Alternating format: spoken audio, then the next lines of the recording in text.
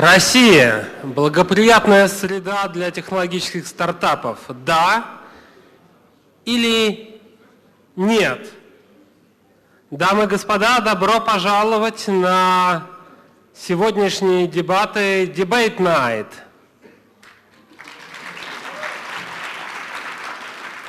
Меня зовут Дмитрий Песков, и я работаю директором направления «Молодые профессионалы» в Агентстве стратегических инициатив – Перед тем, как мы сегодня начнем этот вечер, я хотел бы представить слово заместителю министра связи и коммуникации Российской Федерации Марку Шмулевичу. Марк.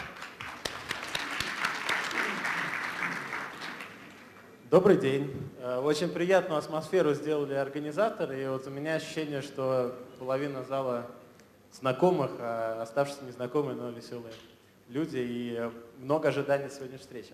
Я подумал э, следующее. Тема «Благоприятна ли Россия страна для стартапов» э, обсуждается уже очень давно. Она обсуждается фактически э, постоянно, но вот э, тематика и направленность этого обсуждения постоянно меняется. Э, я 10 лет назад, в отличие от многих из, из вас, был далек от этой индустрии, поэтому мне пришлось узнавать и смотреть, а что же говорили 10 лет назад в основном про стартапы России. И дискурс тогда в основном был построен вокруг того, что в России нет инвесторов, а пойдут ли вообще хоть какие-то инвесторы в Россию, а как же вот вообще нет этой инновационной движухи, которая нужна. А, прошло 10 лет, все изменилось принципиально. Инвесторы есть, возникли а, десятки, не знаю сколько, 30 или больше венчурных фондов в России, куча изданий, которые про стартапы пишут, и, естественно, э, наверное, тысячи стартапов в России. Ну уж, по крайней мере, больше одной тысячи э, точно. Поэтому та проблема снята. Но возникла новая проблема. Какой дискурс мы видим сейчас? Да, деньги есть, но в основном деньги не умные, нам нужно больше умных денег. С другой стороны, вроде как проекты есть, но они заканчиваются, люди имеют идеи, умеют делать какие-то базовые проекты, но плохо пока умеет их продавать, не хватает бизнес-навыков, а, не хватает менторов. То есть дискурс остался, хорошая в России среда для стартапов или нет, но сместился. Однако рынок принципиально развился и фактически появился. А, скорее всего, через пять лет опять-таки такие же дебаты, наверное, будут иметь смысл, но только основные акценты будут а, еще другими, я не знаю какими, может быть, выходы уже станут играть первую роль. Тем не менее, сегодняшние дебаты крайне интересны. И последнее замечание такое. А, я здесь фактически на работе, потому что в сфере моих э, обязанностей э, есть, э, в частности, и создание условий для того, чтобы IT-компаниям жилось в России и в российской юрисдикции лучше. Поэтому я, наверное, в первую очередь буду слушать команду, которая будет говорить, что в России стартапам плохо, записывать и призываю всех быть конструктивными. Спасибо.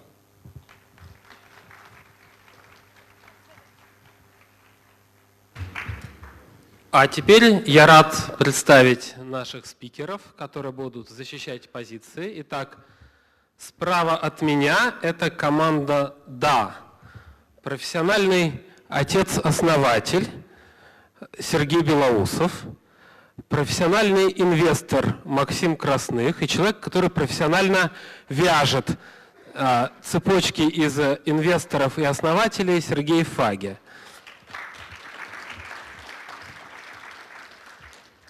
Защищать позицию «нет» будет а, человек, который показывает нам кино по интернету Дмитрий Алимов. Специалист по а, первок, перфокартом Андрей Мовчан.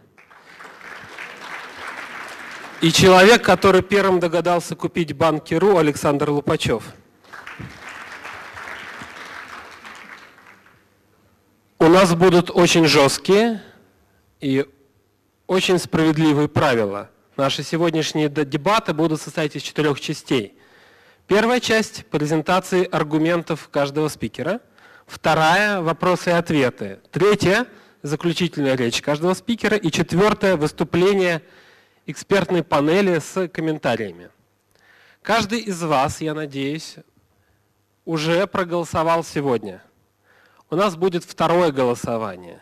У нас продвинутые организаторы, и победителем у нас будет считаться не та команда, за которую проголосовало больше всего людей, а та команда, которая смогла набрать больше голосов во втором голосовании по сравнению с первым. То есть смогла изменить ваше мнение в свою пользу, привлечь, купить ваши голоса. Поэтому очень важно второе голосование. А мы голосовать будем с мобильных телефонов, но до того, как вы их включите в голосование, я прошу сделать то же самое, что сделал я, и мобильные телефоны выключить. Иначе мы с вами будем похожи на гастроли Большого театра в, а, за рубежом, в не самых культурных странах. А, я пока не вижу не вижу вот движений, понимаете? Тут же все должно быть сразу видно. У вас должны быть понятные движения большим пальцем, как вы выключаете свой мобильный телефон. Ну хорошо, будем считать, что остальные все настолько продвинутые, что уже сделали это заранее, а иначе, я надеюсь, вам будет стыдно.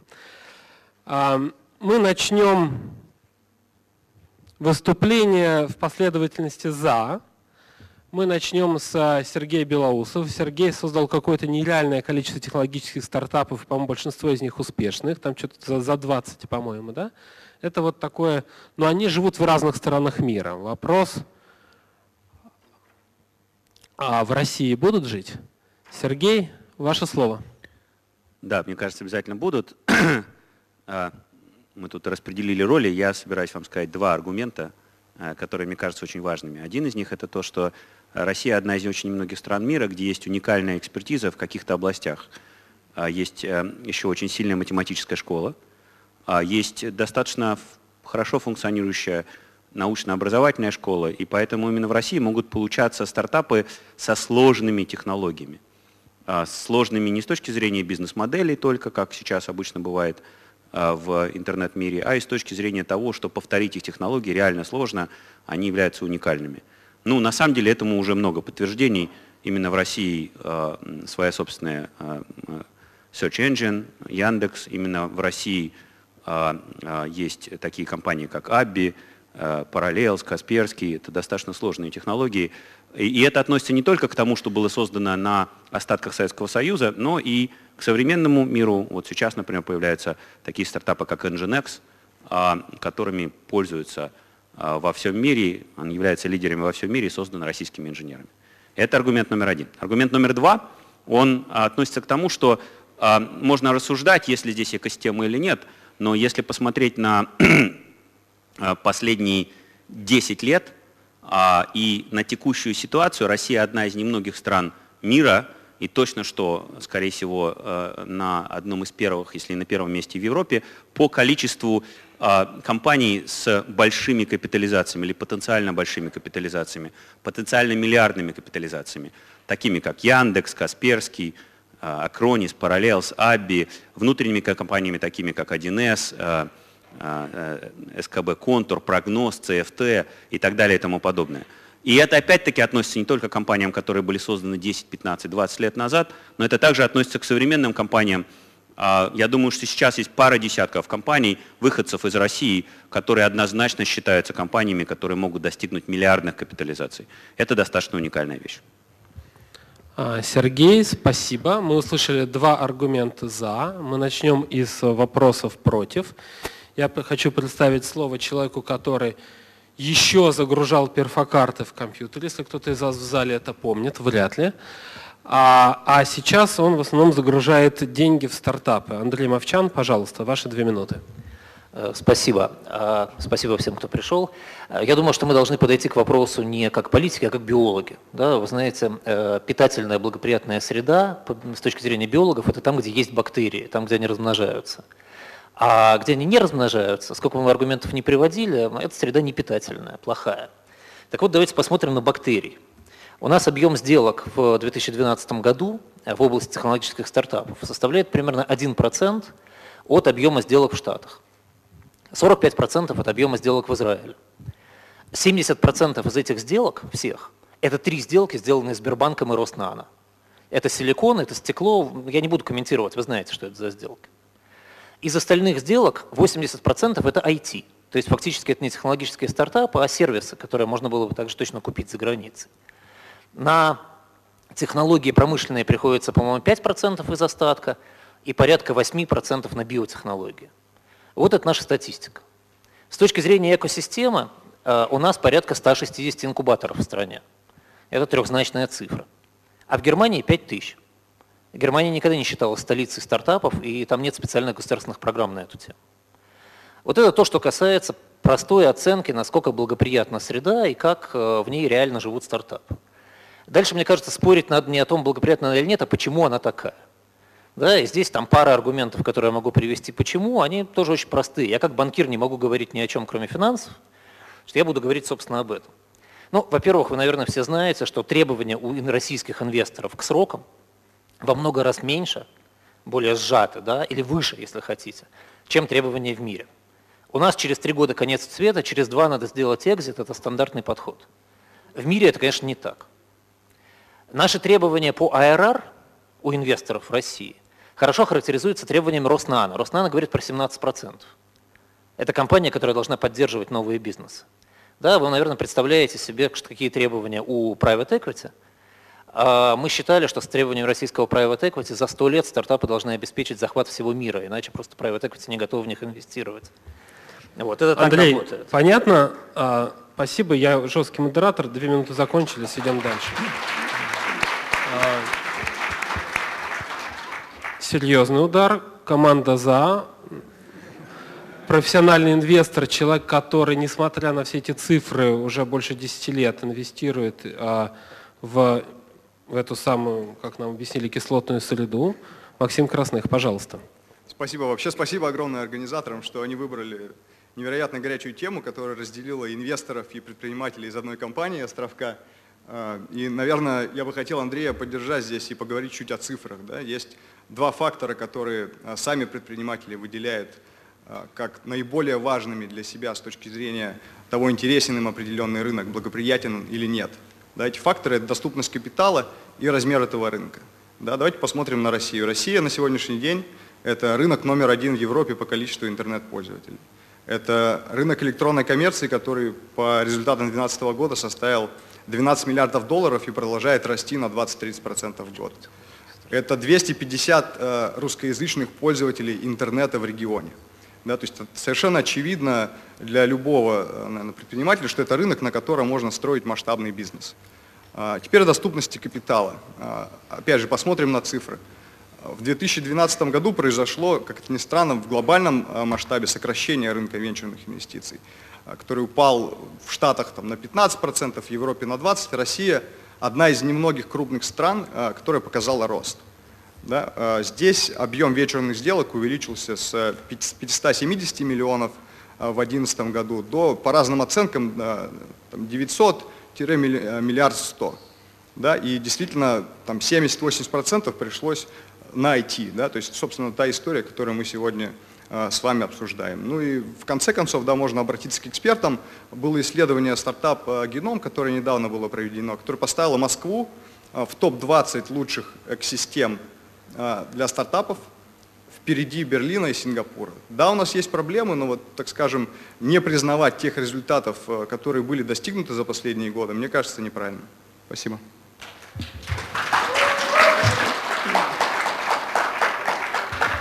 Я понял, лжет как венчурная статистика, да, значит. А, и а, а, аргументы против. А, Александр Лупачев, человек, который работает в компании, которая инвестирует с 93 -го года, то есть ровно 20 лет, да, компания Russia Partners уже на рынке. Но, представляете, 20 лет инвестирует и против. Александр? Да, за 20 лет э, Russia Partners э, видела около 12 тысяч компаний, и в технологической среде 99% э, были убыточные, а у 90% не было выручки вообще. И здесь важно понять, почему. Не умеют продавать или нет спроса. И здесь я хотел бы обратить внимание на самый важный момент в бизнесе любой компании. Платежеспособный спрос. Кому это надо и кто за это готов заплатить деньги. И для того, чтобы ответить на этот вопрос, совсем не надо работать в э, инвестиционной компании. Достаточно поглядеть вокруг себя. Любые технологические предметы, которые мы видим вокруг себя, сделаны не в России. BMW, вот этот микрофон – вот этот микшер, свет и даже имплант моей нижней челюсти, все импортное. А, немножко о цифрах, о которых говорил Сергей. А, цифры, конечно, впечатляющие, но относительно а, масштаба экономики России не значат практически ничего. Выручка, если правильно посчитать, всех интернет-компаний в нашей стране в прошлом году составила около 5 миллиардов долларов. Это выручка «Газпрома» за 4 дня. По сути, стат погрешности, если все знают, как работает «Газпром». То же самое касается и экспорта софта. Другое направление, которым все гордятся и представителем которого является другой Сергей. Э, экспорт э, ПО из нашей страны за рубеж в прошлом году составил те же 5 миллиардов, то есть еще 4 дня работы «Газпрома». Все. Э, Неделя. Да. У нас, конечно, представители Представители институтов развития и правительства стараются принуждать к инновациям, но мы как инвесторы считаем, что принуждать не надо, нужно идти к тем клиентам и на те рынки, где спрос уже есть.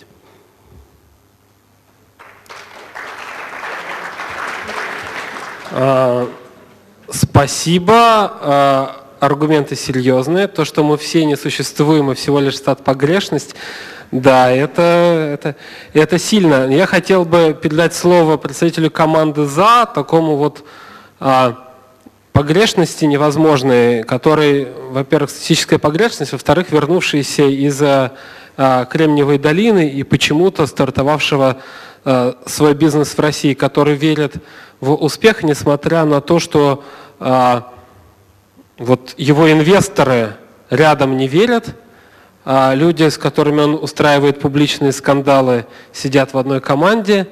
Но, тем не менее, посмотрим, что он сможет сказать залу. Сергей Фаги, пожалуйста, Островок.ру. Ну, я бы хотел начать с того, что действительно сказать, что для нас, э, мы как бы, когда смотрели возвращаться в Россию, мы реально вернулись в Россию из Кремниевой долины, э, значит, потому что мы видим здесь более благоприятную среду для работы, чем та, которая существует там. И в первую очередь это так из-за того, что господа с другой команды преподнесли как негатив то, что в России создается небольшое число технологических компаний. Вы что, хотите работать там, где выше конкуренция?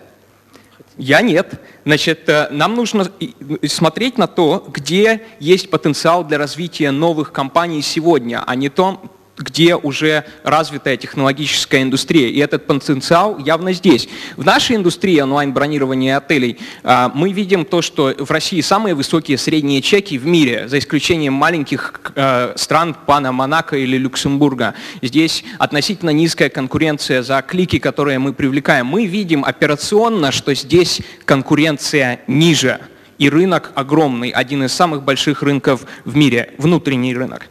То есть, а, во-вторых, здесь есть присутствие именно технологического таланта, который исключительно а, является самым критичным фактором работы технологических компаний. Здесь можно нанять тех людей, за которых вы никогда не сможете бороться с Гуглом, Фейсбуком, там, Твиттером и всякими другими компаниями в Кремниевой долине. Их там нет, а спрос огромный. Если вы поедете туда, будет намного тяжелее. Значит, и э, третий момент – это то, что вот часто говорят про отсутствие капитала. Э, наверное, оно еще, ну, отсутствие капитала не настолько э, решено здесь, как могло бы быть, но, несмотря на это, вот мы за первые два года своего существования привлекли 30, 30 новых инвесторов, которые никогда не инвестировали раньше в Россию, они вложили в нас порядка 40 миллионов долларов, и мы видим существенный спрос на то, чтобы инвестировать в Россию. То есть, если подрезюмировать, то с нашей стороны э, мы видим людей, которые работают в России и которые говорят, да, это благоприятная среда. С той стороны мы видим несколько нескольких людей, которые тоже работают в России, но почему-то при этом говорят, что э, среда неблагоприятная и используют такие аргументы, как то, что сделаны штуки импортные. Если я сейчас сяду в конференц-комнате в Кремниевой долине, все тоже будет сделано в Китае. Какая разница, где оно Сергей? сделано? Спасибо.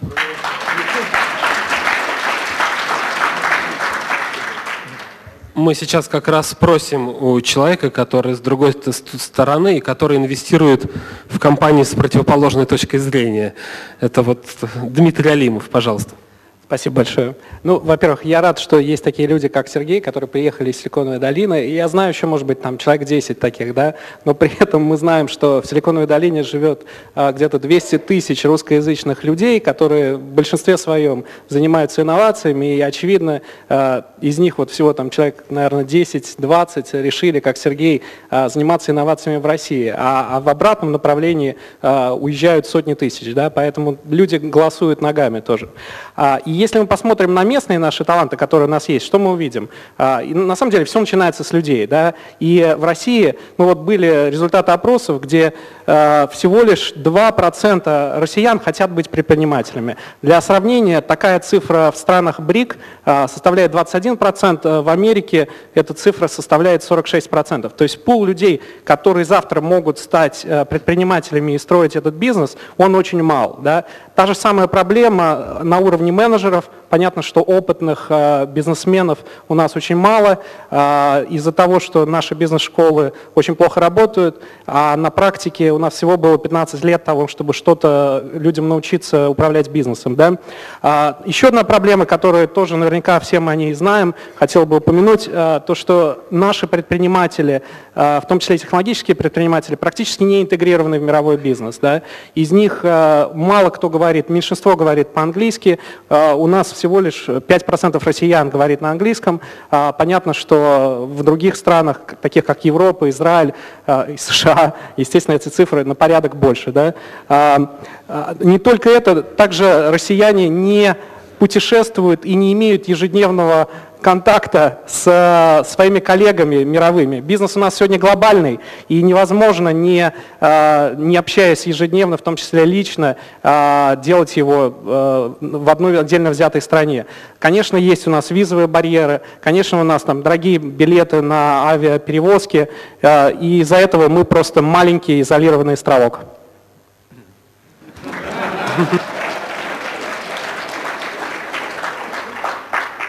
Россия маленькая страна. Итак, мы услышали мнение. Я прошу зал пока так подумать предварительно, изменилась ли у вас точка зрения.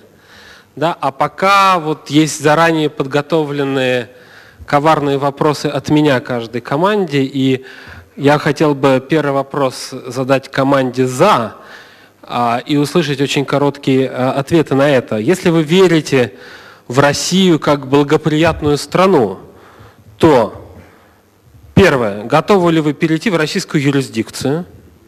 Второе. Готовы ли вы перевести сюда все свои деньги?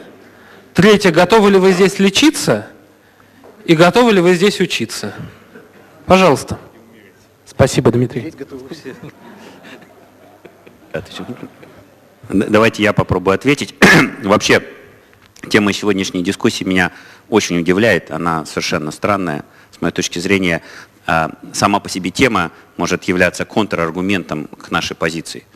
То есть, конечно же, в стране, в которой а, инвестиции и технологическое предпринимательство а, хороши, никто не обсуждает, хороши они или нет. Это как обсуждение, что хорошо, смерть или жизнь. Мы все умираем или мы живем. Ну, мы одновременно умираем и живем, но, по-моему, обсуждать этот вопрос бессмысленно. Жизнь намного лучше, чем смерть. И, конечно же, а, среда становится лучше и хорошей.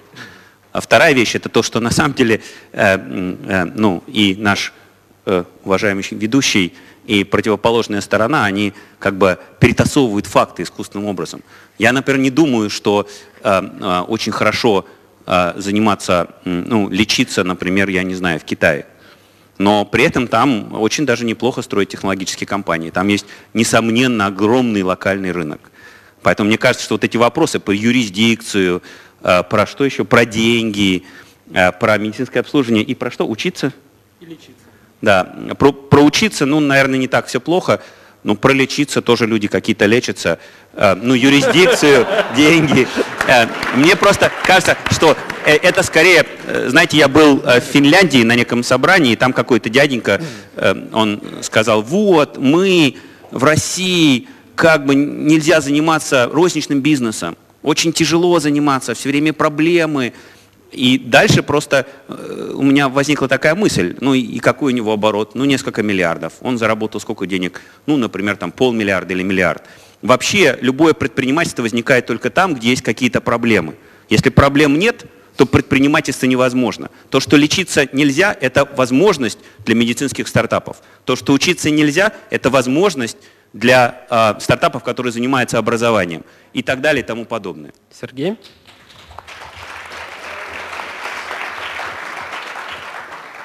Итак, а, мой вопрос а, команде против. Собственно говоря, вопрос почти тот же самый. Вот если вы говорите, что все так плохо, то почему вы, а, не уезжаете, и, б, продолжаете инвестировать? Ответьте мне четко, конкретно. Это шизофрения или двоемыслие?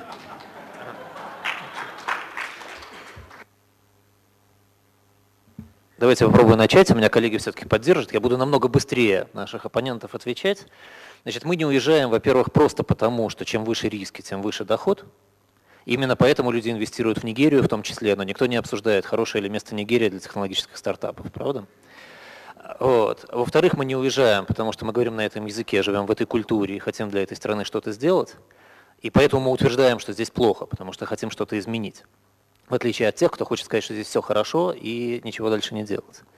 В-третьих, мы не уезжаем потому, что мы э, обеспечили для себя возможность работать со всем миром. Несмотря на то, что это тяжело, сложно, требуются визы, перелеты, достаточно тяжело в нашей инфраструктуре это работать, тем не менее. Мы выводим на рынок из России компании, которые получают рынок в Штатах, мы приводим деньги из России в Штаты же для того, чтобы инвестировать в компании там, работаем с Израилем, с Ближним Востоком, с Европой. Это дает нам возможность существовать. Если бы нам приходилось работать только с «Газпромом», думаю, что мы бы уехали куда угодно, хоть в Нигерию.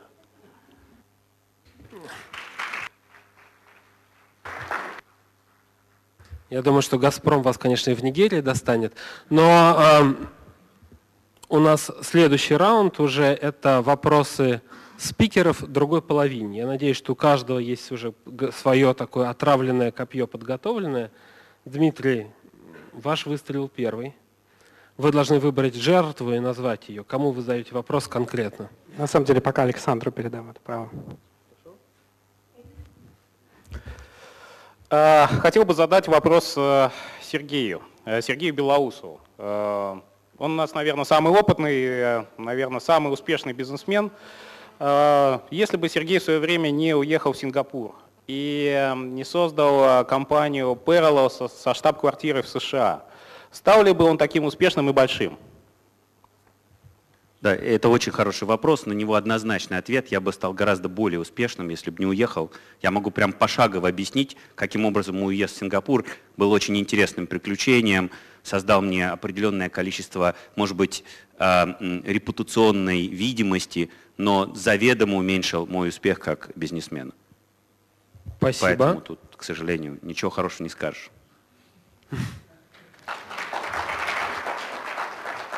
Не гуляйте не ходите, дети, в Сингапур гулять. Хорошо, услышали. А, коллеги? Я бы хотел э, задать вопрос Дмитрию Алимову. Вот вообще Дмитрий удивительный человек, потому что это, я думаю, как аудитория знает, один из, наверное, наиболее активных э, защитников вообще инвестиционного рынка в России. я честно скажу, что я готовился к этой дискуссии по его вообще статьям. Дмитрий сказал интересную вещь о оттоке интеллектуального капитала, хотя на самом деле, опять же, приводил совершенно другие цифры совершенно недавно. Вот, поэтому я бы хотел Дмитрия, наверное, попросить прокомментировать, э, при том, что, опять же, там с той стороны много инвесторов, да, и они подняли достаточно большие фонды э, на России, вот чтобы э, Дмитрий мог сказать своим LPs, э, которые сейчас сидели бы в зале, да, то есть инвесторам своего фонда. Да, спасибо большое. На самом деле, а, как Э, знают некоторые люди, я действительно часто защищал Россию, в том числе и в международных медиа, и в дебатах э, с международными финансовыми профессионалами. А, И на самом деле я согласен с тем, что Россия воспринимается часто, особенно внешним миром, особенно англосаксонским миром, а, неправильно, и многие вещи относительно России люди не понимают. Да? Поэтому для этой аудитории мне часто приходилось э, ну, быть таким рупором и объяснять, э, какие есть хорошие, а, какие есть позитивные вещи о России. Да? Здесь э, мы находимся в этой аудитории, здесь это не международная медиа, это мы россияне, мы те люди, которые должны сделать эту страну лучше. Да? И вот а, между нами мы прежде всего должны оценить трезво текущее состояние и оценить, а, что плохо, что хорошо. И вот самым неправильным было бы а, успокоиться и сказать, что в России, да, благоприятная среда для технологических стартапов, это не так. Мы должны очень многое сделать для того, чтобы она стала благоприятной, и это начинается с трезвой оценки ситуации. Дмитрий, спасибо. Ну, не забывайте, в зале же может быть много иностранных агентов. Но в любом случае вопрос э, вашей стороны.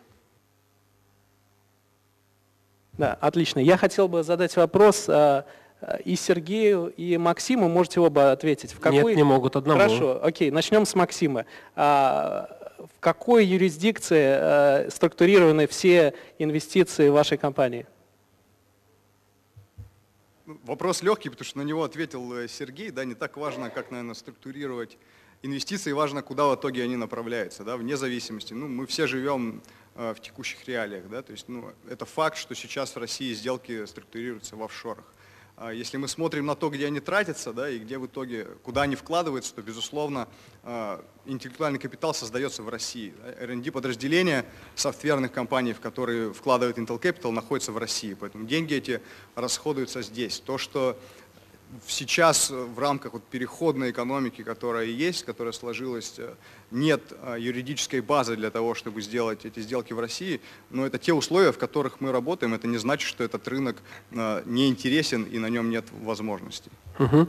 Максим, спасибо. Ну, а, я перевожу. А, просто офшоры являются частью экосистемы российских стартапов. Ваш вопрос, пожалуйста. А, ну, у, на- у нас есть такой вопрос, что просто в таких дискуссиях очень важно помнить, что в мире вообще все относительно, не бывает хорошо, не бывает плохо, бывает лучше и хуже. А э, бизнес это такая универсальный вид деятельности, в которой есть измеритель хорошо и плохо, и, соответственно, лучше и хуже, это больше и меньше.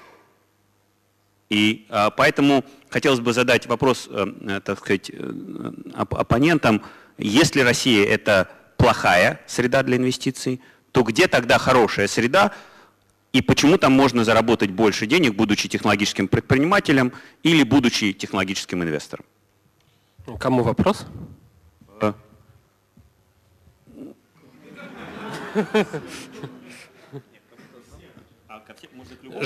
Это нужно.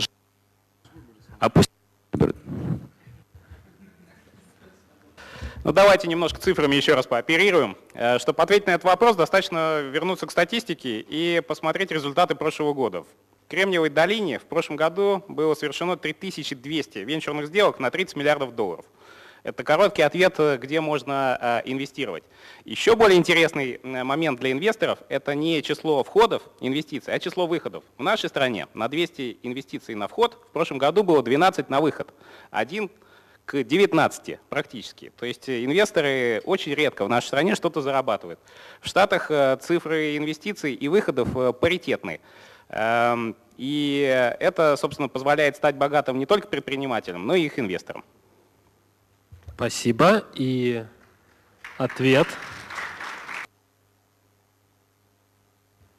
Наверное, еще вопрос, да? Я бы задал вопрос Сергею Фаге, наверное, да, уже прямо впрямую человеку, который сказал, что чем меньше конкуренции, тем лучше среда. Вот меня в плохой американской школе учили, что чем выше конкуренция, тем больше качество того, что в ней растет. А Если вы считаете, что хорошая экосистема – это там, где конкуренция низка, то, наверное, вы думаете, что в Мозамбике хоккей лучше, чем в Америке, например, ведь в Америке конкуренция между хоккеистами намного выше, да, или, или футбол, например, лучше не в Англии, а э, где-нибудь в Таиланде. Да, и почему, по-вашему, хоккей и футбол у которых прямые, понятные способы конкурирования и успеха так диаметрально отличаются от э, бизнеса предпринимательства? Вопрос, который мы здесь обсуждаем, был в том, э, является ли Россия благоприятной сферой для стартапов. Благоприятная равно возможность зарабатывать деньги – Возможность зарабатывать деньги существует на тех рынках, где нет очень сильной конкуренции. Если коллеги с этим не согласны, то я предлагаю им начать авиакомпанию в Соединенных Штатах, допустим. Значит, есть многие другие рынки, где конкуренция очень высокая, и у них, несомненно, получится выстроить очень качественную компанию в результате, но, наверное, я бы не сказал, что у них получится заработать деньги. А здесь вопрос именно про то, где есть возможность зарабатывать деньги. А, теоретически вещи, которые учат в бизнес-школе, это то, что действительно качество улучшается с конкуренцией, но оно улучшается потому, что люди понимают, что там, где низкая конкуренция, есть возможность зарабатывать. Они приходят туда, больше таланта стремится туда, где есть эта возможность, качество всего происходящего улучшается. Это процесс, и ну, э, мне кажется, что это довольно очевидно. То есть, э, ну, если нет, опять-таки, давайте вы начнете там хоккейную команду в Канаде или там авиакомпанию в США или что-то еще высококонкурентное.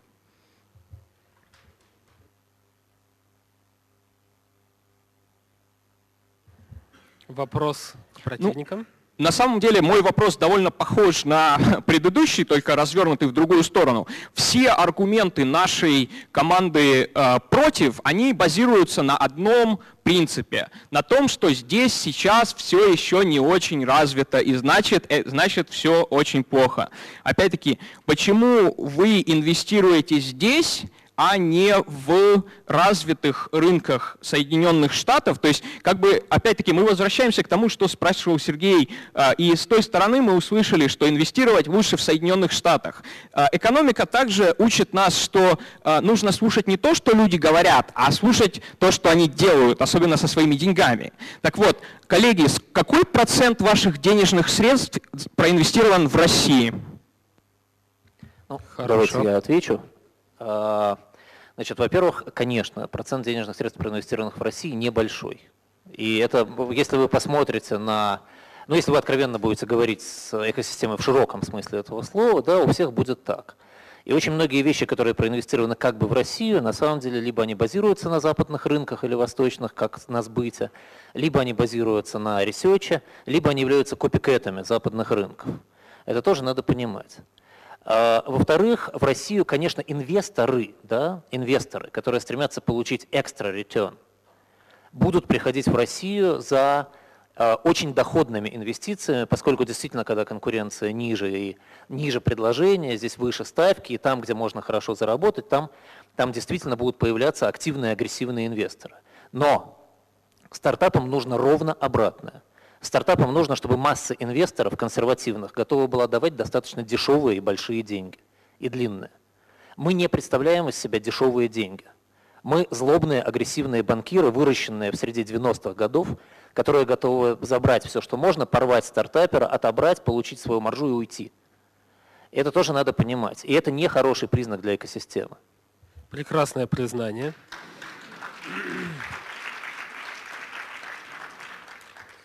Есть у нас еще вопросы? Все. Все, отстрелялись. Хорошо, а контрольные вопросы из зала. То есть вопрос должен быть очень конкретным. Вы должны его обратить в идеале к человеку или в крайнем случае к команде. Перед тем, как вы задаете вопрос, пожалуйста, представьтесь. Микрофоны у нас на готове. Вот вижу дальше первую, первую руку, вот там. Первые ряды пока молчат, а вот там есть рука. Вы вставайте, молодой человек, вставайте. Наглость – первое счастье в России, не второе. С микрофоном, да, он сейчас подойдет. Сервис не быстрый.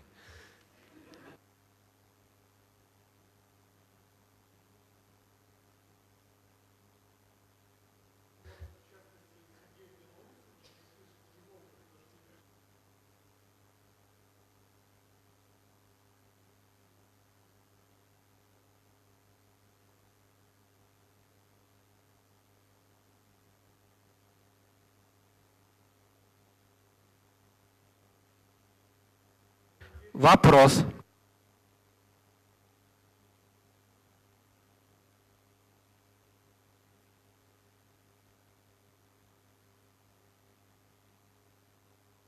Понял вопрос. Кто виноват? Привожу. Угу.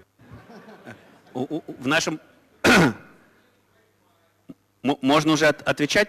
Да, а, да. В нашем а, портфеле есть несколько компаний, э, которые э, занимаются тем, что как бы изучают поведение и поведенческие манеры своих а, клиентов. И они э, достаточно часто читают книжки по нерво- нейролингвистическому программированию. Я сам к этому отношусь скептически, но вот вопрос, он поставлен на так, что, в принципе, как бы он показывает, что некая польза прочитать эти книжки для тех, кто общается с клиентами активно, есть. Потому что я не очень понимаю, почему нужно отвечать на вопрос, почему у нас все так плохо. По-моему, у нас как раз все так хорошо. Если уважаемый, э, так сказать, задающий вопрос слушал мое выступление сначала, мой основной аргумент как раз заключался в том, что у нас уже есть очень успешные стартапы а, с миллиардными капитализациями, или даже 10 миллиардами капитализациями. И более того, они сейчас создаются, их будет еще больше. И поэтому, я думаю, более правильно отвечать на вопрос, почему у нас так все хорошо, а мы обсуждаем, что у нас все так плохо. Спасибо. Следующий вопрос. Вот там мужик уже с микрофоном. Прошу подняться только. Владимир Озеров, Rush Partners. У меня вопрос ко всем. Просьба отвечать одной цифрой. Представьте, что вы играете в казино, и у вас есть выбор. Сколько процентов отличного капитала вы готовы поставить на российский венчурный рынок в процентах? Там 10, 20, 30 и так далее. Вот просьба просто одной цифры. Справа налево. Более 95, это факт.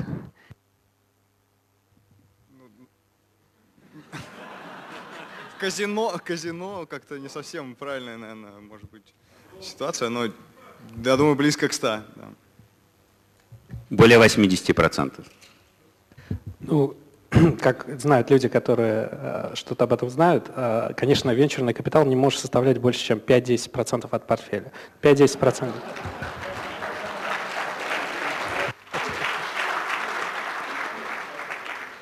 Да, я, к сожалению, должен присоединиться к этой академической школе, процентов 5. По нашему портфелю 8%. Да, кажется, у нас сидят люди, отвечающие за свои слова, да, их позиции фантастически совпадают с размерами инвестиций. Давайте так, еще два вопроса. Два, вот, а, пожалуй, вот там и а, хорошо. Первый, второй, третий. На этом жестко закончим, потому что мы сильно отстаем в графике. Кирилл Булатов. А у меня вопрос к Александру Лупачеву. Лучше еще говорить, откуда вы. Не стесняйтесь. Здесь можно. Сколково. А, вот, у меня вопрос.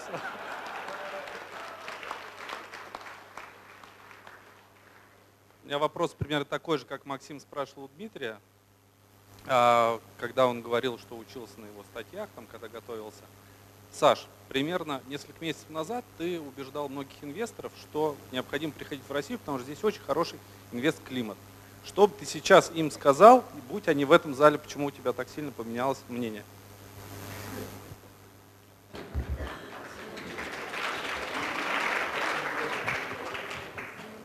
Я бы сказал, что покупать надо тогда, когда очень страшно. Именно тогда дешево и выгодно.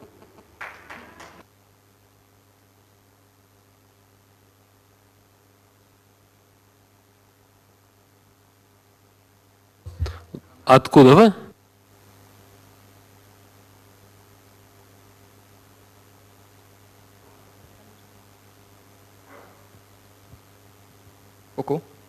Отлично. Э, Роман, э, я работаю в крауд-инвестиционной площадке Smart Market. Э, Вопрос к команде, которая против. Сегодня тема дебатов, тема встречи, благоприятная ли встреча, среда для технологических стартапов.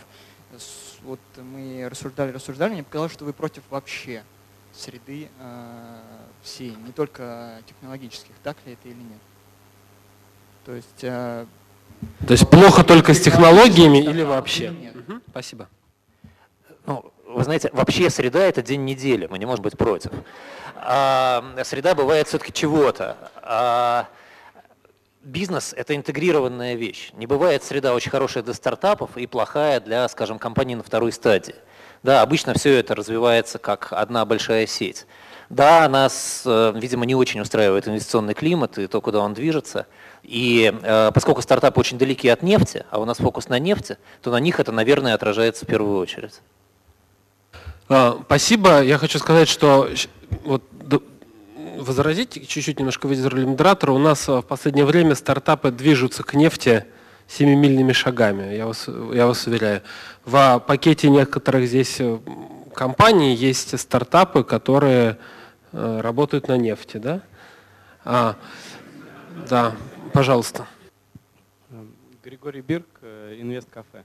У меня вопрос э, к, э, к лагерю, который выступает против э, того, что Россия благоприятная среда для стартапов.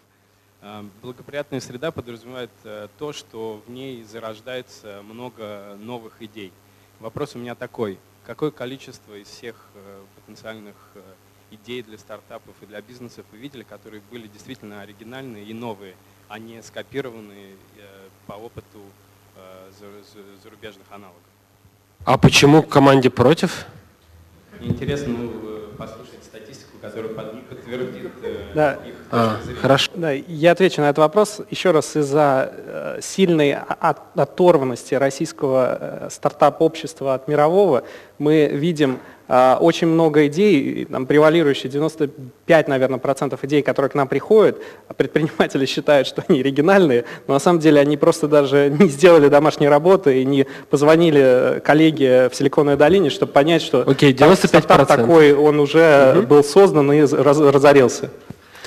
Коллеги, давайте тогда по очереди также пройдемся. Вот 95% и вот туда. Нет, не, еще раз, э, 95% считают, что они оригинальные. Оригинальных может быть там 0,5. А, 0,5%, окей. Ну, может быть, абстрагируясь от цифр, э, хотел бы назвать э, примеры таких компаний, которые в э, Рунете из России э, предложили ре- реально инновационный продукт. Вот э, из того, что я близко видел, эм, это Андрей Андреев, основатель э, последовательно компаний Spylog, Бегун, Мамба и Баду.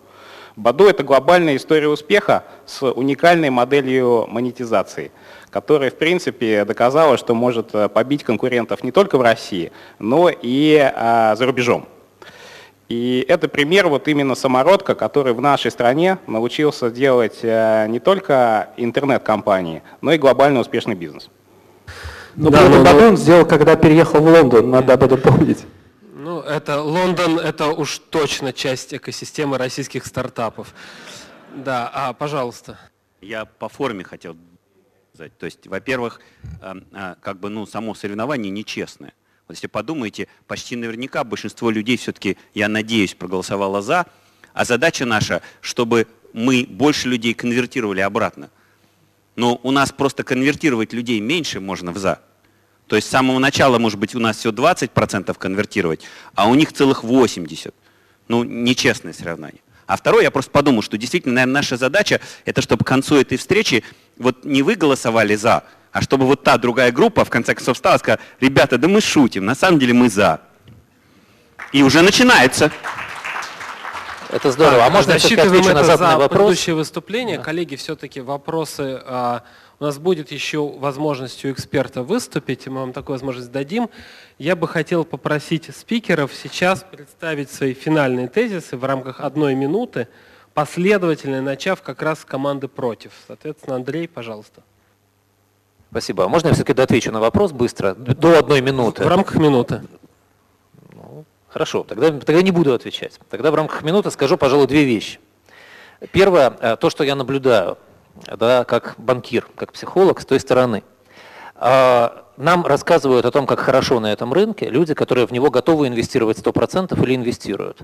Во всем мире это называется self-fulfilling prophecy. Как правило, инвесторы на бумах, инвесторы на пиках перед самым кризисом больше всего уверены в том, что надо инвестировать в рынок, поэтому они разоряются.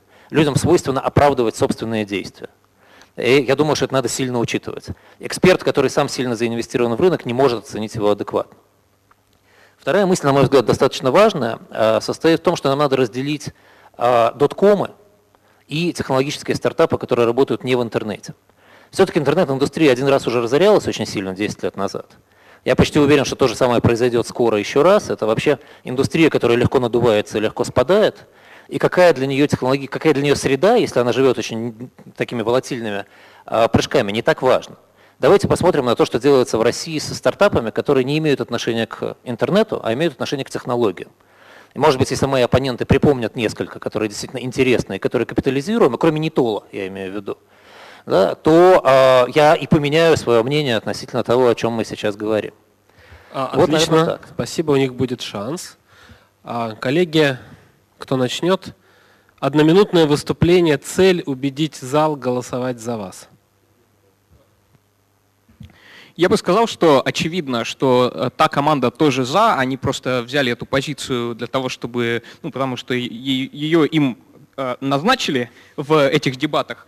Но, э, значит, в России, очевидно, есть несколько факторов, которые очень важны. Это технический талант. Технический талант — это кровь как бы экосистемы создания технологических продуктов. Здесь он есть, во многих других местах его нет. А, во-вторых, это доступность рыночных возможностей с низкой конкуренцией. Опять-таки, никто в мире не спрашивает, можем ли мы проинвестировать куда-то, где высокая конкуренция. Все спрашивают, как, проинвестировать, как найти возможности, где конкуренция низкая. И именно это является благоприятной средой для стартапов.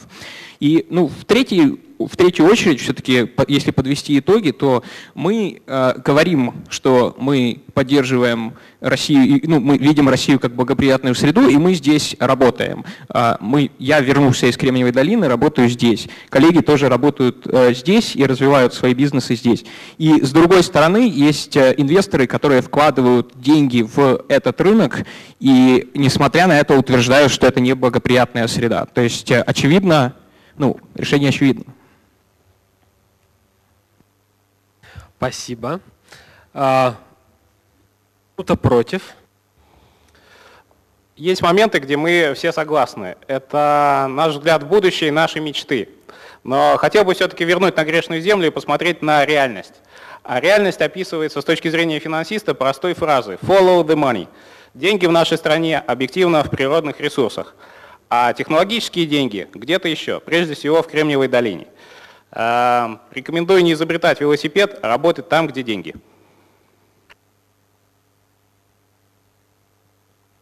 Хорошо, пожалуйста. Я бы, наверное, хотел сказать несколько слов о том, что вообще в последнее время как-то слишком много драмы вокруг вот, сферы интернета и стартапа. И у нас есть такая, может быть, отчасти национальная особенность сравнивать себя постоянно с кем-то и не сравнивать себя, допустим, с, с нами самими там, несколько лет назад. Да? Ну, вопрос, там, здесь просто мы рискуем подменять понятия в ходе дискуссии. Да? Лучше ли Россия как система, чем Кремниевая долина? Ну, очевидно, нет. Да? Благоприятно по сравнению с чем? То есть можно смотреть на рейтинги, да? можно смотреть, как двигается Москва, Россия в них. Эта статистика сегодня приводилась. Давайте, опять же, я, наверное, бы хотел призвать все-таки смотреть на цифры, смотреть на факты и сравнивать себя прежде всего с самими с собой, да, и какой прогресс мы делаем относительно того, где мы были несколько лет назад. Если смотреть на эту статистику, то она достаточно позитивна. Но это не значит, безусловно, что нам не над чем работать. Поэтому все-таки вопрос э, благоприятности, да, давайте на него отвечать в контексте того, куда мы э, движемся, а движемся, наверное, все-таки, э, как мне кажется, мы в правильную сторону. Спасибо. Я очень рад, что Максим об этом заговорил, и я хотел всем еще раз напомнить, на какой вопрос мы отвечаем. Мы не отвечаем на вопрос, нужно ли среду улучшать. Несомненно, нужно, да. Мы не отвечаем ли на вопрос, а улучшается ли среда. Несомненно, улучшается. Мы отвечаем на вопрос, благоприятна ли среда сегодня. И на этот вопрос ответ однозначно нет.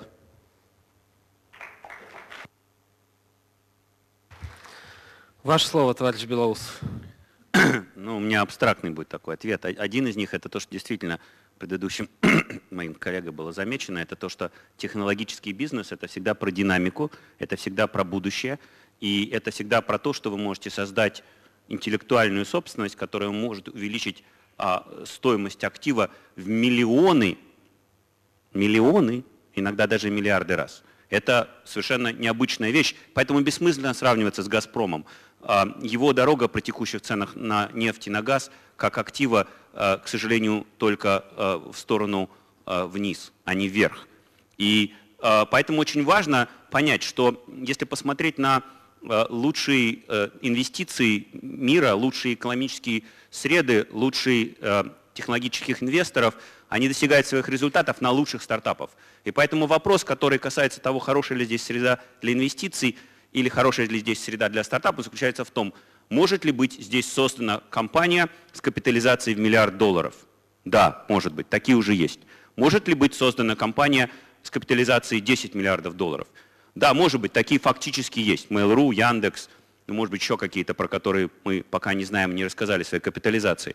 И дальше нужно задать себе вопрос, может ли быть в России создана компания с капитализацией в 100 миллиардов долларов? И ответ на этот вопрос, на удивление, да. Россия, наверное, одна из трех стран мира, Америка, Китай и Россия, такие три страны, где на сегодняшний момент может быть создана компания с капитализацией в 100 миллиардов долларов. Поэтому, мне кажется, здесь однозначно благоприятная среда и для предпринимателей, и для инвесторов.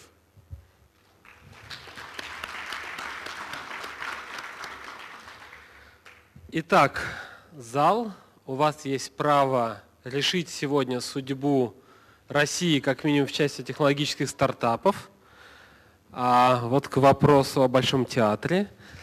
А, у вас есть в ваших брошюрках номера телефонов.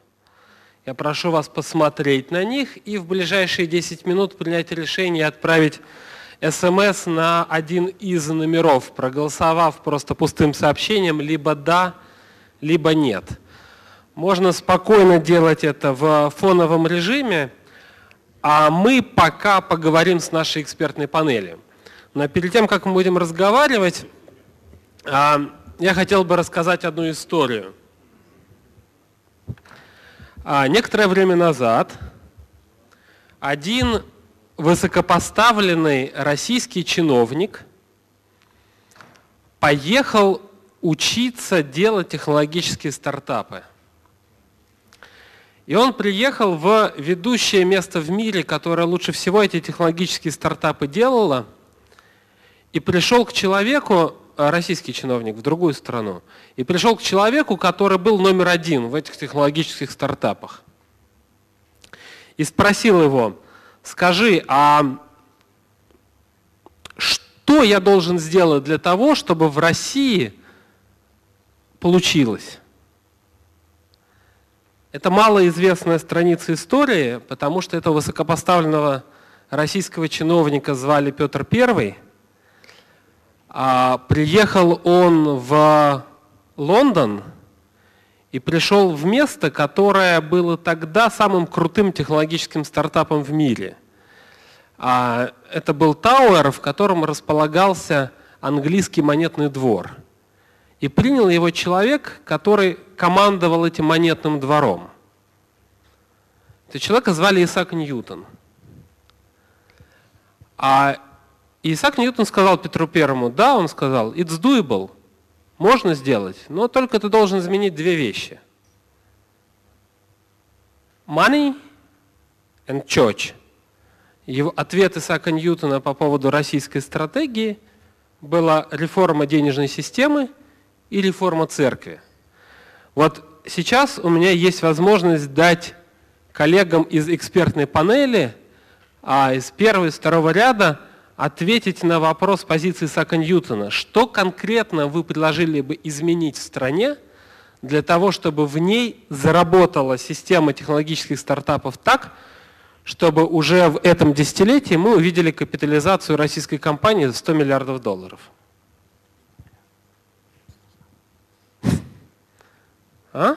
Коллеги, ну можно поставить себе планку пониже – то есть что должно быть сделано с вашей точки зрения? Вот, вот что? Где эта золотая пуля? Пожалуйста.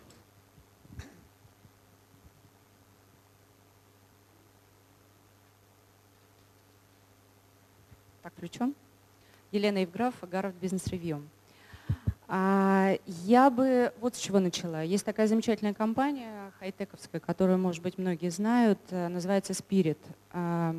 Она производит сложный софт, это файлы, э, собственно говоря, драйверы для работы с видео и аудио э, информацией. Это, в общем, она входит в мировую десятку, и том числе в каждом айфоне, например, стоит софт компании Spirit. В России они продают 2% своей продукции. Основные рынки у них Соединенные Штаты, а, э, соответственно, и азиатские рынки. Начинали они вообще с Японии. И вот Андрей Свериденко сам мне рассказывал такую историю, это основатель и владелец этой компании, как он приходит, в том числе они занимаются, естественно, IP-телефонией, а, как он приходит э, в крупнейшую российскую мобильную компанию, говорит, что вот давайте я вам э, сейчас, вот, скажем, решу вот вашу проблему. Вы теряете клиентов, они уходят в скайп, и мне интересно звонить по мобильным телефонам из-за границы. Давайте вот мы сделаем ну, скажем, вот он предлагает им а, а, такой проект или предлагает друг, другой проект. И слышит он в ответ, а покажите мне компанию, которая уже заработала на этом миллиард.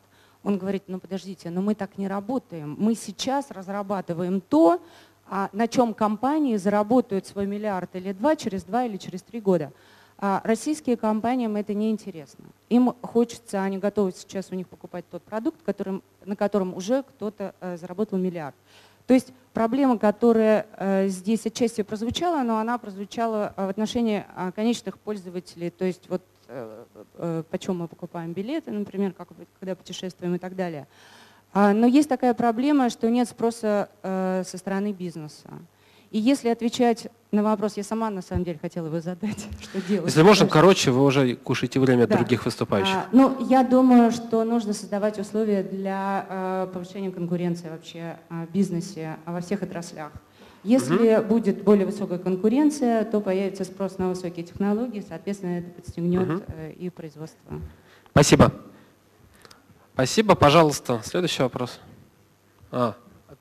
Ответ, наверное. Ваш рецепт. Очень, очень Меня коротко. зовут Максим Фалдин, компания Викимарт. Я, в общем, наверное, а, один из тех 10 человек, которые Дима Алимов знает, которые вернулись сюда, в Россию, Силиконовой долины, делать бизнес здесь. Я вам хочу сказать, что мы на самом деле живем а, в удивительном месте, в удивительное время. У нас э, все на самом деле очень хорошо. Я согласен со стороной, которая выступает за, постоку постоку. Ну, вот мы тут сравнивали Россию с самой собой. Давайте сравним с остальными местами. Ну да, Силиконовая долина. Никто не будет отрицать, что там э, явно лучше стартапам, инновациям и всем остальным. А где еще? Ну, есть Лондон, может быть, еще есть э, Бостон и Нью-Йорк, да, еще пару мест в мире. Но Россия, Москва, в частности, и Россия вообще точно топ-5, топ-10 этих мест. Вот. Мы за 4 года, вот то, который я здесь нахожусь, с 2009 года, сделали гигантский шаг. Я прекрасно помню те зеленые стартапы, которые были в 2009 году, и то, что мы видим сейчас, это огромный-огромный шаг вперед. И я думаю, что за ближайшие 4-5 лет мы еще сделаем очень большой шаг, еще больше. 100 миллиардов не построим. 100 миллиардов компания строится 20, 30, 50 лет при любой э, скорости инноваций. Я думаю, любой предприниматель это подтвердит опытный. Но 10-миллиардные компании еще будут, и многие из них уже существуют, просто цикл новый идет. Вот так. Спасибо.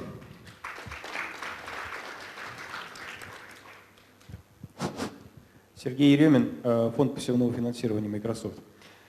Я хочу сказать тоже про относительность показателей. Мы мало, много говорили про абсолютные цифры, мало про относительные. Вот э, наша статистика говорит, что в 2008 году в России были единицы предпринимателей серийных, которые делали бизнес на софте, вот, и которые могли выступить как менторы э, для компании. И были ну, где-то сотни э, стартапов, которые регистрировались в наших программах, получали какие-то ресурсы от Microsoft. Сейчас прошло пять лет, э, серийных предпринимателей десятки, которых я лично знаю, которые тратят так или иначе время на менторшип новичков. И тысячи компаний в программе. То есть прогресс очевиден, да, и тут как бы даже ну, ничего. Сергей, ваш рецепт. Да, рецепт следующий. Я э, неделю назад прилетел э, из гостей у моих коллег в Microsoft Израиль, где неделю провел, э, собственно, пытаясь... Сергей, рецепт. Ну, мне нужно 10 секунд, чтобы дойти до рецепта. Значит, э, провел э, время в попытке понять, а что, собственно, они делают, э, что весь Израиль делает для того, чтобы стать номер один, стали, почему они стали э, стартап-нацией номер один в мире. А рецепт они сказали следующее, я с ним согласен, это менторство. Значит, э, э, в стартап-акселератор Microsoft в Тель-Авиве стоит очередь из более чем сотни менторов, успешных серийных предпринимателей, которые готовы бесплатно менторить стартапы. Значит, рецепт следующий. Если каждый серийный предприниматель, человек, который считает себя серийным предпринимателем в России, будет тратить тот самый час в неделю на менторшип хотя бы одного молодого стартапа, то у нас дело гораздо быстрее пойдет. Спасибо. Здравствуйте. Варламов Кирилл, компания «Наумин». Мне кажется, несмотря на большой разрыв времени, который прошел со времени Петра Первого, ну, проблемы те же. Money and church. То есть э, деньги на самом деле очень дорогие в России. И э, здесь мне кажется, что, э, там, например, Центробанку стоило бы смягчить э, монетарную политику и сделать деньги более дешевыми. Потому что они реально очень дорогие. Из-за этого очень много что накатывается. Требования по РР у фондов и так далее. И э, там, в текущем вообще э, обществе это телевизор. Э, Там как бы, про предпринимательство очень мало говорят, э, что предпринимательство это хорошо, это круто. А, Например, у меня знакомые ездили в, в- Калифорнию, в Силиконщину. И там, когда в баре, значит, молодой человек знакомится с девушкой, та его спрашивает, а какой у тебя стартап? Вот когда, когда у нас э, завтра там, в барах девушки начнут спрашивать, а какой. А если, не, если человек не, не отвечает внятно, то э, как бы она к нему резко теряет интерес. Вот. Вот и если завтра будет вот ну, такая атмосфера, что действительно начнут спрашивать, ну, наверное, что-то изменится. Спасибо. А, Ну, у нас в телевизоре есть серийные, только это не не предприниматели, а убийцы. Там их как раз много. А, Пожалуйста, вот там вот руки очень интенсивно сзади, на втором ряду, пожалуйста, можно дать, потому что вы уже выступали. А, а- Давайте, а, я, ну, да я- давайте я коротко отвечу. Хорошо, да. Меня зовут Максим Кашулинский, я генеральный директор сайта слом.ру. Если говорить о рецептах, которые можно было бы дать, даже не знаю кому, наверное, правительству мы все обращаемся, оно рядом. да, то самый простой рецепт был бы не мешать. Потому что это, это- это самое простое, что можно дать предпринимателю. А, И второе, если уж говорить так более развернуто, то можно было бы как-то, э, и это действительно бы помогло стартап-индустрии открыть себя миру и разрешить любым иностранцам с любым опытом, с любыми технологиями приезжать сюда и делать все, что угодно. Это, конечно, фантастическая какая-то мысль, но, но тот же Петр I, по-моему, ее очень хорошо понимал. И еще я согласен со многими из выступавшими в том, что отчасти проблема находится в сравнении. Мы постоянно сравниваем себя с Америкой, и это загоняет нас в какую-то э, тоску и в какое-то э, в какое-то заведомо невыгодное положение. Возможно, нас стоит сравнивать с Италией, страной, в которой мы примерно одинаковые по ВВП, или с Турцией, в которой мы очень сильно похожи. И опять же, когда мы сравниваем себя с «Газпромом», мне кажется, Александр э, неправильно посчитал выручку, потому что те 5 миллиардов, которые, э, э, которые, которые оцениваются сделки на венчурном рынке, это на самом деле не 4 дня выручки «Газпрома», а 13.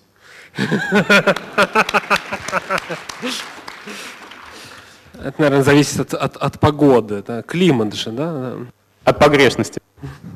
Пожалуйста. Да, здравствуйте, меня зовут Егор Руди, я основатель компании Рудитор. У меня есть хорошая новость. Э, Она заключается в том, что успех неизбежен. А, Предприниматель, э, предприниматель, он вам, я вам хочу сказать, он и через асфальт прорастет. А, И как бы чем хуже, тем лучше. Вы думаете, что Израиль стал стартап-нацией от того, что у них все было хорошо? Ну, как бы вряд ли.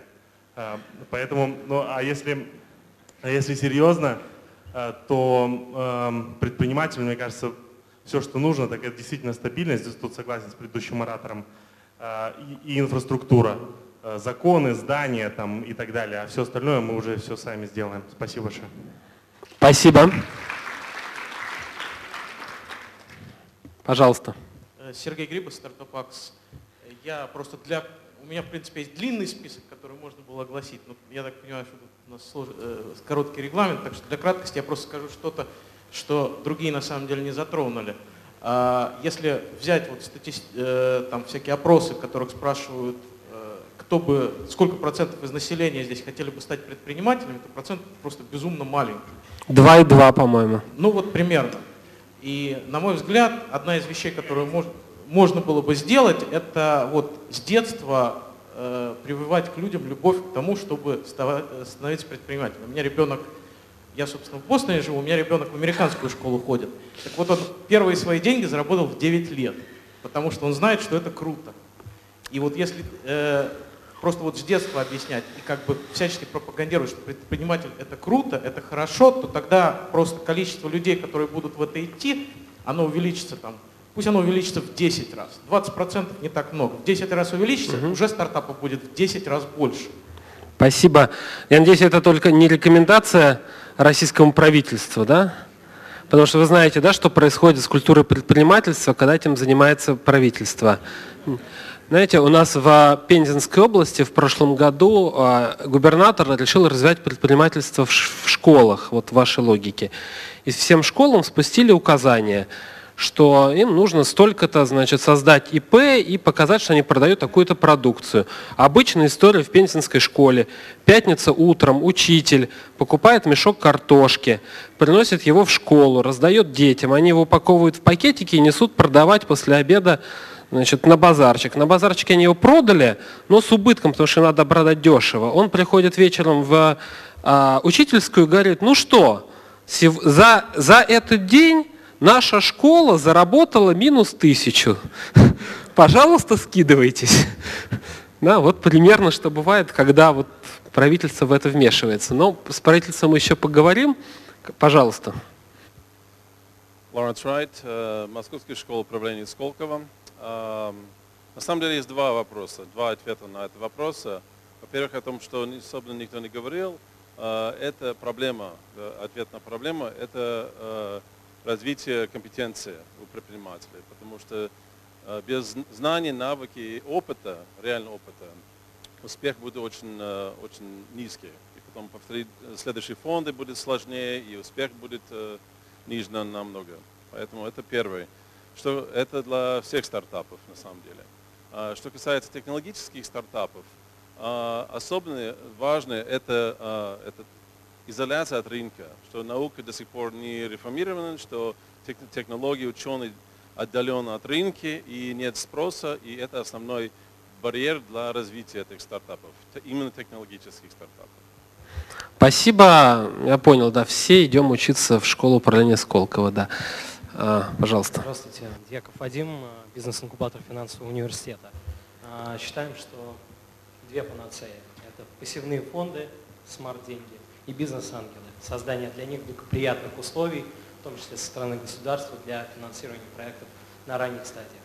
Потому что создался вакуум между технологическими проектами, технологиями в университетах, в технологических центрах, технопарках а, и теми уважаемыми Э, венчурными фондами, которые инвестируют только в готовые бизнес-модели, самоокупаемые проекты и только на уровнях масштабирования. Развивать пассивные инвестиции нам необходимо. Спасибо. Спасибо.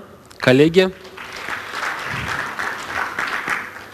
А если у нас больше у экспертов нет, а у нас есть один ключевой эксперт, который, а, я думаю, готов сделать такую выжимку, и который как раз ответственен за то, чтобы, ну, как минимум, не мешать. Да? А Марк Шмулевич, правительство Российской Федерации. Марк, пожалуйста.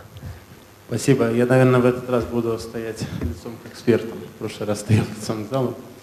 А, трудно сделать выжимку по нескольким причинам. Сейчас я попробую сформулировать несколько мыслей, которые в голову пришли. Но, а, во-первых, мы видели прекрасную школу психологической игры сегодня. То есть сама тема была сформулирована так, что однозначно ее понять просто невозможно. Для кого хорошая среда? И поэтому было достаточно просто, выбирая правильную э, сторону формулировки темы, обосновывать э, то, что вы говорили. Но несмотря на то, что вот уже замечали, вот мне понравился вопрос э, Кирилла к Александру, Э, как вот он несколько месяцев назад оставил другую точку зрения сейчас. Несмотря на то, что э, сразу несколько высказываний сегодня меня, конечно, удивляли, потому что я знаю, что те же люди вполне могут и доказать и другое, но это нормально в такой теме. Есть, по-моему, несколько бесспорных э, вещей. Во-первых, мне кажется, что тот фактор, что что-то плохо в аспекте э, проблемы благоприятная ли среда России для стартапов, часто это хорошо. И действительно, вот только что говорили про Израиль и как он стал такой страной, я абсолютно согласен, что э, во многом Израиль стал э, такой страной для стартапа сегодня, потому что было тяжело. И более того, когда вот я в конце прошлого года был в Израиле, мы встречались там с министром промышленности, мы как раз обсуждали это, он прямо сам сказал, что э, если бы все не началось с огромного количества проблем, которые были Э, у нас, когда приехали люди после создания государства, было просто негде селить, и на это не было денег. Просто не было денег. Мы не знали, что делать, им надо было где-то жить. Если бы не было череды таких проблем, то мы бы не стали так уметь их решать, и у нас бы не было такого количества предпринимателей. Поэтому то, что плохо, чаще всего это хорошо. А второй момент э, заключается в том, что мы как-то плавно обошли э, стороной ту проблему, что действительно э, львиная доля индустрии, если не вся, она как бы в России, а как бы не в России. И если для предпринимателей, для инвесторов первую очередь, ну, наверное, это не так важно, то для нас это важно. И э, мы в первую очередь смотрим не только на то, как сделать так, чтобы рынок развивался, ну, конечно, в первую очередь не мешать, конечно, а на то, как бы так сделать, чтобы он э, больше развивался в России, и чтобы через 10 лет, собираясь на такие же дебаты, э, мы могли действительно обсуждать э, институциональные условия в России, потому что заметная часть ваших инвестиций была бы в российской юрисдикции. Вот это вот сложно, но сегодня недостаточно судили. А, и третья тема, я смотрю со своей стороны, что все-таки может делать государство. А, как бы, какие бы хорошие возможности не были для предпринимательства, должны быть э, люди, которые хотят и умеют и делать бизнес, и работать в технологических бизнесах, ну и какие-то имеют минимальные знания для них. Это все-таки задача государства. Это и правильное образование, и э, во многом популяризация э, предпринимательства, инженерного дела и технологических э, каких-то занятий. Если посмотреть на статистику, то а, в России меньше 1% занятого населения, например, работает в IT-отрасли, и я, у меня нет такой цифры, но, например, если взять инженерное дело, мы знаем, что в России очень много инженеров, но если посмотреть статистику, то она тоже оказывается относительно всей занятости ниже, чем в огромном количестве развитых стран. Вот по IT эта цифра меньше 1%. Это принципиально ниже, чем не только в США, где цифра больше 5%, но и в тех странах, которые уже упоминались, как те, с которыми можно было бы сравнивать. Германия, Франция, Италия. И цифра 2-3%. Вот э, в этом тоже может быть проблема. Ну, соответственно, мое, мое резюме, э, я все, голосование не закончилось, да? Я еще, наверное, не Давно закончилось. А, закончилось. Да. Ну, я на стороне, что Россия благоприятная страна для стартапов. И, по-моему, большинство аргументов команды против, они верные, как сами по себе, но они не говорят, что Россия не благоприятная страна. Когда плохо, это хорошо. Спасибо. Спасибо. А, у меня в руках результаты. Я их уже видел. Но они меня шокировали, поэтому я их вам не скажу пока что. А, потому что перед тем, как все-таки объявить результаты, я хочу а, сказать слова благодарности команде Debate Night, которая, по-моему, организовывает потрясающие мероприятия с точки зрения сложности. Это, из этого, мне кажется, можно сделать классный технологический стартап. Вот, ребята, вы отличные профессионалы, круто очень а коллегам из Harvard Business Review, которые помогают это организовывать, Министерству связи и коммуникаций, которое помогает и не мешает. А у нас будут следующие дебаты, которые, я бы сказал так, плодотворно развивают эту тему, которые будут называться «Инновационная Россия. Миф или реальность?». И мы всех приглашаем в них принять участие. Я приду с удовольствием поучаствовать или в качестве зрителя, или когда меня позовут, знаете, модератором мне очень комфортно, хочется в бой. Вот. И пришла пора, мне даже страшно открывать это. Значит, э, у нас эм, начальное голосование было э, за проголосовало 71%. В начале против 29%. Эм, Э,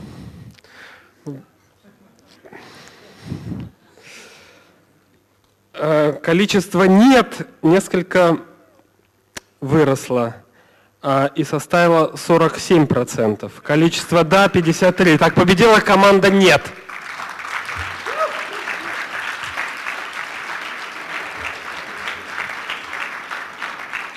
Спасибо, было круто, но я присоединяюсь к команде «да». Я-то уверен, что они все говорили неискренне, у них либо шизофрения, либо двоемыслие. Спасибо.